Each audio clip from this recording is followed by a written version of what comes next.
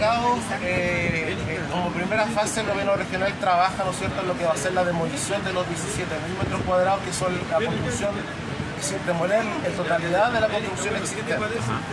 Para avanzar con el proyecto que se va a ejecutar con la modalidad de pago contra recepción, que es diseño y ejecución simultánea, un paso necesario es poder tener la mecánica de suelo del terreno. Para eso hoy día estamos posicionados en terreno en lo que es el sondaje 1. En el terreno se proyectan tres sondajes de 30 metros para ver la estratigrafía del suelo, para ver la calidad de este. Ajá, ¿esa esquina cuál es? Esta es la, aquí estamos Estamos en calle Angam con Conte. Perfecto. Es sondaje 1, sondaje 2, sondaje 3 y tres calicatas que se van a perforar con máquina retro a 3 metros de, de profundidad para también hacer los ensayos Perfecto. Y de ahí eh, había hablado también de la distribución.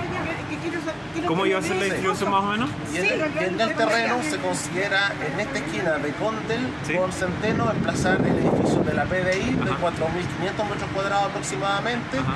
En este sector se proyecta el edificio consistorial que son alrededor de 13.000 metros cuadrados con su primer piso, espacio para servicios públicos que se va a articular con un gran espacio público que articula los dos edificios más el colegio existente. Perfecto. Y había, había un área verde también proyectada. Claro, un área verde en este sector que articularía los, los tres edificios. Y una cafetería ahí entre medio Y la también. idea es colocar una cafetería, restaurante y servicios de pago para los vecinos en este sector.